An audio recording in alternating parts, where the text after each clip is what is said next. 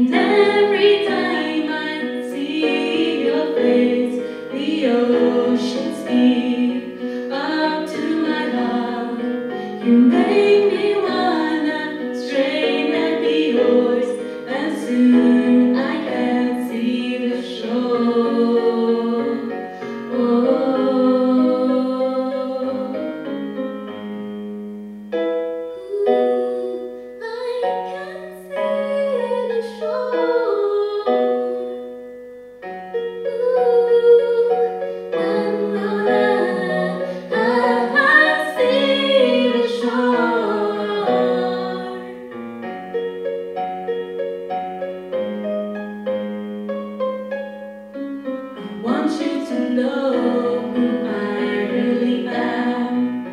I never thought I'd feel this way towards you. But if you ever need someone to